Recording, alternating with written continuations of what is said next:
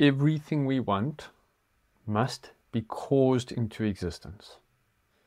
And the most powerful forces shaping our lives are our choices and behaviors. When it comes to back pain, some behaviors play a much bigger role than others. So, how can we know which behaviors to prioritize? I have a framework that answers that exact question. When it comes to our body and mind, there are three domains of behavior which stand out far beyond the rest. Three domains of behavior which contain our greatest opportunities and our biggest threats. Do you want to know how you can recover from anything and reach a potential you didn't even know you had? Because I'm going to describe a framework for healing that will make this possible for you.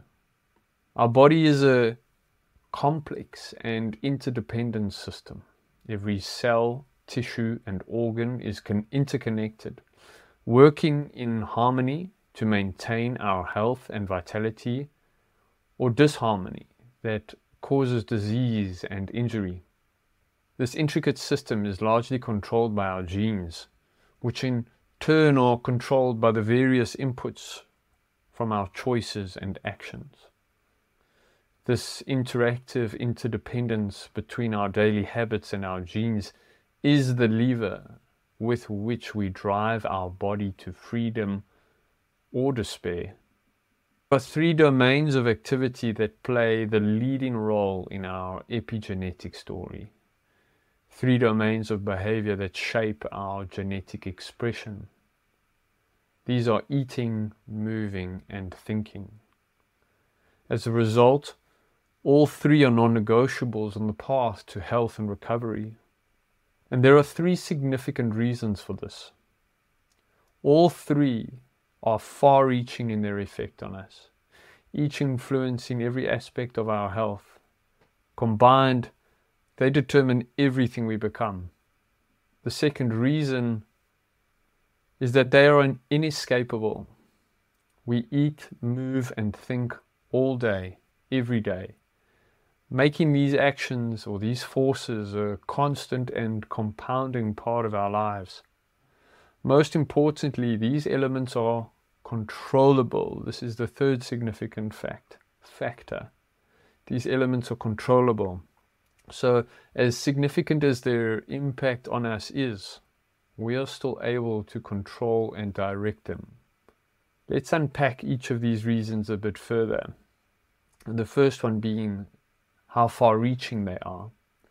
And this first fact prescribes these domains of behavior as non negotiables because of their seemingly limitless reach and influence over our internal universe. Eating provides the very building blocks for everything happening in our body, from signals to structures. Every atom our body needs to complete its tasks must be consumed in one form or another. Beyond providing substance, the nutrients in our food are a form of information rich with instructions for the genes throughout our body. What we eat regulates our hormones, inflammation, and immune system. Food is much more than simply fuel or calories to keep the machine moving. Movement goes far beyond exercise. It's the continuous physical activity or inactivity which our body performs. Activity which does or doesn't apply mechanical loads on the structures of our body, driving their growth or deterioration. Movement is also the main user of our body's energy, dictating the story of our body's metabolism. The quality and quantity of our movement are pivotal in steering how most of our body develops or doesn't develop over time. Every bone, muscle, and connective tissue, plus all of the structures which play a role in providing the energy for movement, are regulated by the movements we do and don't perform. How we move and how much we move are central to the development of the structures and metabolic engine which support and drive our body. Plus, everything from our brains to our bones receives a multitude of benefits from healthy movement and an avalanche of issues from the lack of it, from the lack of healthy movement. The state of our mind is like an amniotic fluid which embraces all of our body's activities, from stress to relaxation, from love to fear. Our body's operating system colors and controls every molecular and cellular process. In every moment, we are somewhere on the spectrum between recovery and urgency. The instantaneous state of our psyche governs whether our body feels safe enough to regenerate or if it f- believes it is in a state of emergency. Even the slightest agitation is enough to tip the balance marginally towards stress, which most people don't realize is enough to switch off many channels of rejuvenation. Resource allocation, hormonal balance, and immune function are intimately tied to our immune to our mood fluctuations. Recent research has also deeply implicated our state of mind with our motivation and willpower, the necessary drivers of all improved behavior. And thinking, like any action, has the tendency to form deeply ingrained and compounding habits over time. This brings us to our second significant reason that all three of these forces must be a part of our plan, which is that they are inescapable. There is no off switch for the influence of each of these activities and the effect they have over our body and mind. It is simply impossible to avoid being shaped by the presence or absence of any nutritional, movement, or mental action in any given moment. The state of activity within each of these three domains is permanently sending ripples of consequences across the fabric of our body mind, all the time, always, and without end.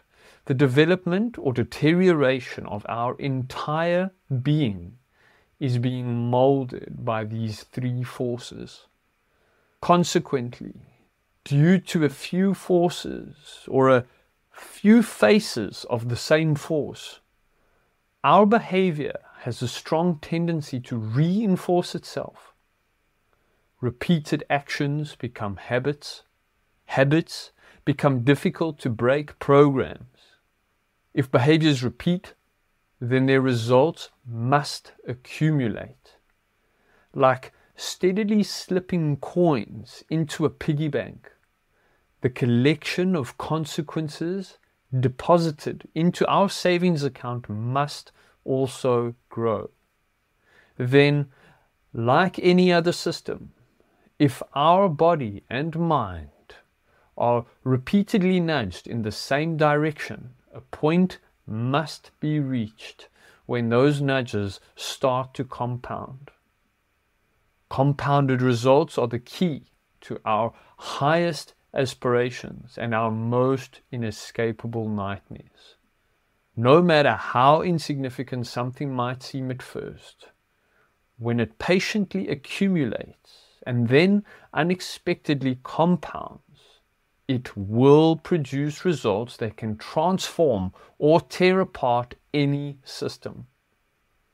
However, pervasive and inescapable these forces of nature are, the most important characteristic which makes them central to our recovery and health is that we can change them for the better. And this is the third significant reason all three of these forces are a part of our health and recovery plan. Because we can absolutely change the way we eat, move, and think. In fact, these are part of a small collection of things we can truly change. But through changing these behaviors, we can change everything. We can change anything, beyond being the most practically useful place to put our attention, there is an opportunity waiting for us if we choose to perceive that the only forces which matter are those which we control. Even if there is something that is very convincingly important and lies outside of our control, if we believe that we depend on it for change, then we stop noticing the opportunities that we might have to do something for our better. The more strongly we believe that it is our responsibility to change our situation, the more powerfully we become aware of opportunities to change it. Our greatest liberation and our greatest imprisonment is our perception. If we wish to shape our destiny, then we must perceive that it is us that shapes our destiny. We must know with certainty that things change as we change. In summary, our eating, moving, and thinking are limitlessly influential and irrevocably inescapable. But by having or by being controllable, we can use their power to shape our recovery and health destiny. Then, by pushing the limits of what we take responsibility for, we become powerfully capable of changing ourselves for the better. We can transform a life sentence into the opportunity of a lifetime. It should now be blatantly clear that leaving even one of these domains out from our pursuit of vitality is to cause a black hole of difficulty. There is no way to ensure that we will get to where we choose to be if even one of these domains is not geared towards it. Each is simply too powerful out of necessity, we must optimize all three towards our health goals. What follows then is a radical synergy. Three monumentally powerful forces aligned in agreement towards a common goal, a deliberate goal. The power of each of these three parts can be imagined to some degree but all three together lead to an experience far beyond their sum. 1 plus 1 plus 1 becomes 111. This is how miracles can be invited into our healing. I've been referring to this triad, and I'm just wrapping up now. So, in conclusion, I've been referring to this triad as eat, move, meditate for a long time now. I do not even try to achieve anything in my healing or fitness without aligning all three towards my goal. And I have managed to take my body and mind exactly where I have wanted to, over and over again, overcoming challenge after challenge every single time. And man, I have faced some challenges. By focusing on what we eat, how we move, and the way we think, we take full responsibility for our health.